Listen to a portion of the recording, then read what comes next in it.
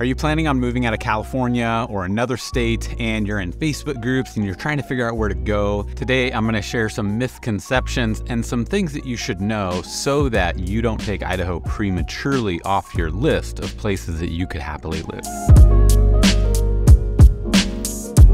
Hey friends, welcome to the channel. If this is your first time here, my name's Craig. I'm a local real estate agent and I make content like this to help you guys as you're in that scary, tough, challenging time of deciding what state you're going to move to. I had a call last week from a couple who had left California three years ago, moved to Austin, Texas, and then decided Austin was wrong for them. They didn't like the winters. They didn't like the humidity. They didn't like the power outages. And so they began their search again for the right state that was going to fit them. They chose to visit Spokane, Washington, and they decided that was too like grungy of a city and they didn't like it. After Spokane, Boise came up on their list and the wife essentially said, nope, I could never move to Boise. And then she watched one of my videos, Why Californians Regret Moving to Boise, Idaho. And she watched it assuming she would agree with it and it would solidify her decision, but the exact opposite happened. She watched the video and realized, oh my gosh, Boise is not what I thought it was, and I really do like Boise, and now they're considering moving here. So in today's video, I'm gonna share some misconceptions and things that you should just know so that you don't prematurely take Boise off of your list of places that you could move to. This first one's going to be a misconception. People think that Boise or southern Idaho is just flat and brown. If you're standing in Boise and you look north, the first thing that you're going to notice is the Boise foothill. And they are anything but flat. Atop of them is Bogus Basin, our local ski mountain, which is just 45 minutes from town. In addition to that, the foothills, again, not being flat, are amazing places for recreation for people who want to get out and have an active lifestyle. So on the north side, you have the foothills, and then throughout the city, you have different benches where there's different elevation, you go up hills, down hills, but it is anything but all flat. Additionally, if we're specifically talking about Boise, it is not all brown. Boise is called the city of trees, which again, depending on images you see, you might disagree with that.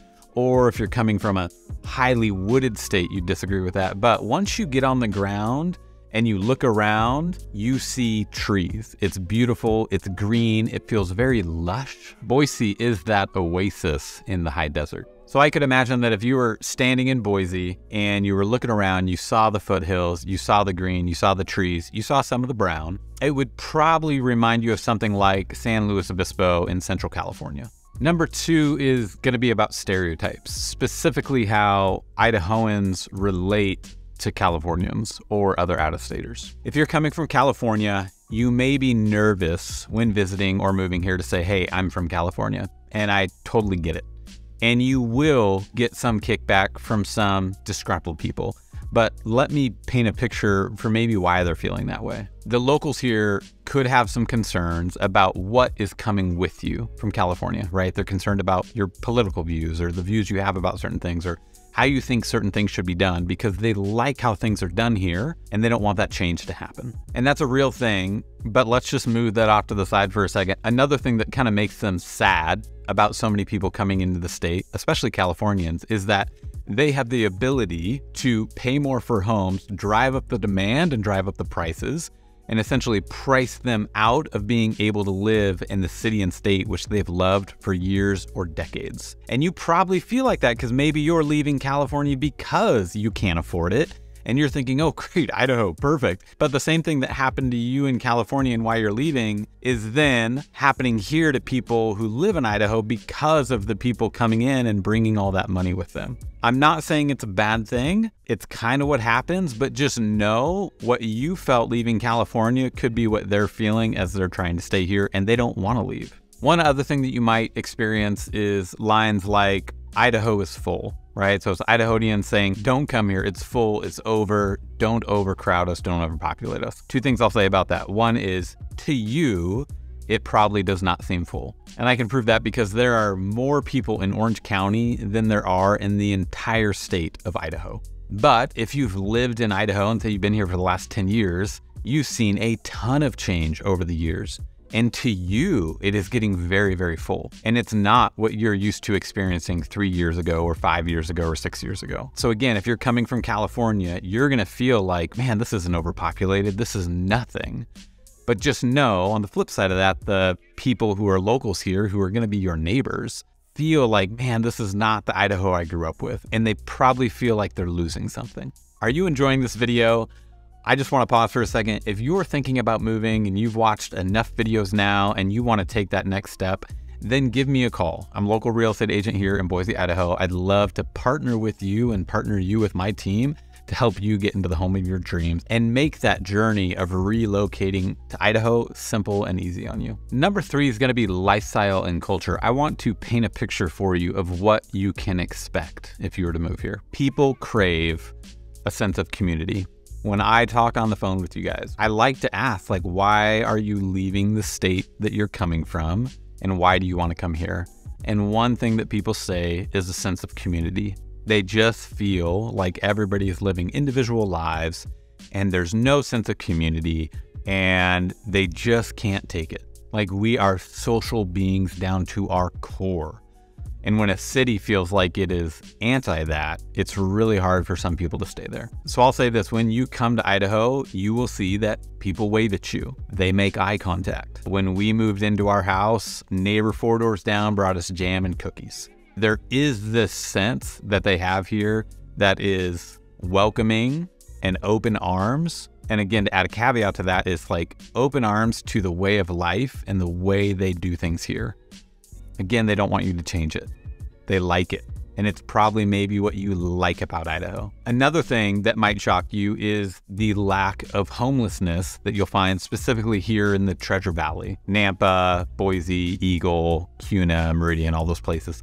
Let's take the Boise Greenbelt as an example. The Boise Greenbelt is a trail that runs along the north and south side of the Boise River and it goes under bridges and there are plenty of spots to where if you were homeless, you would definitely camp out. I'm originally from Portland, Oregon, before that Seattle, and it is so different than what you are used to. When you come here, it feels so clean and so taken care of. You go under overpasses and there's no homeless people and you're not dodging needles and there's not trash everywhere. In fact, there's trash cans for you to put your trash in. There's a beautiful river with clean water that you can go walk into and enjoy. If you're coming from California, this will literally shock you as you walk through certain areas of the city because you would have the assumption that it would be overrun. Let's talk about bugs. There are not a ton of bugs in the area. Yes, we do get some flies, but nothing like maybe what you're used to in terms of mosquitoes or cockroaches or things like that. Perfect example, there's a hot air balloon event here that we do here in the heart of Boise, and it's amazing. And you can go sit out in the evening and watch these hot air balloons and you're not just getting destroyed by mosquitoes and eaten alive. In addition to that, maybe you deal with cockroaches where you're from or cicadas down south and we don't really have that here. Yes, technically, if you go on Google and you type, does Idaho have cockroaches? They're essentially going to say, yes, every state has them. But have I ever seen a cockroach here in Idaho? No, I have not.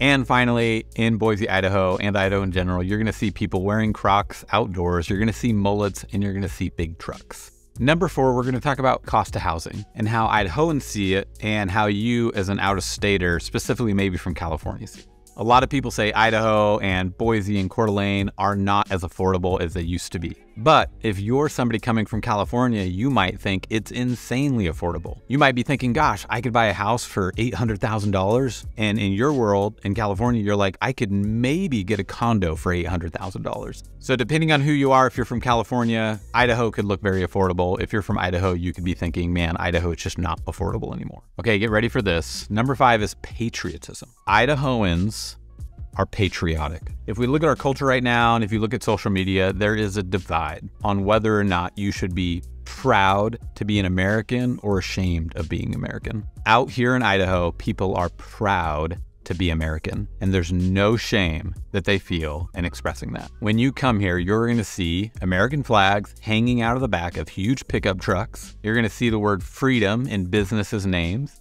and the cherry on top, you're going to see bald eagles everywhere. Number six, now this could be a misconception, but some people might think that all of Idaho is the same, and it's not. There is a huge difference between northern Idaho and southern Idaho. For starters, you're going to be getting used to winter possibly, depending on where you're moving from.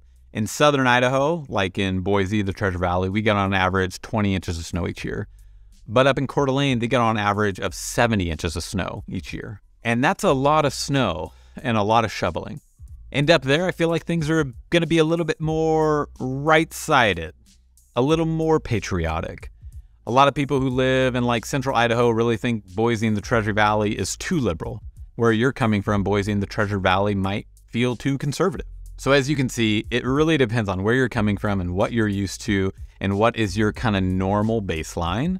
And that's really going to affect whether you see Idaho as affordable or whether you see it as liberal or conservative. But that still doesn't change the fact that Northern Idaho and Southern Idaho, on many topics, are still very different. There you guys have it. There are six misconceptions. And again, I'm making this video to hopefully save you from prematurely taking Idaho or Boise or Coeur d'Alene off your list too early because you think it's something that it's not.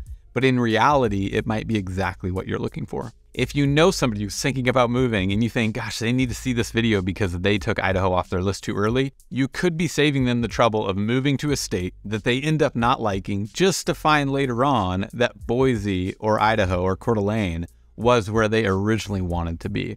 So do me a favor and do them a favor and send them this video. If you like this, feel free to subscribe and hit the bell. Main thing would be hitting that bell so that you can be notified each week that I post a video so that hopefully these videos can help guide you on determining um, whether or not Idaho should be on your list or if it's something that needs to be taken off.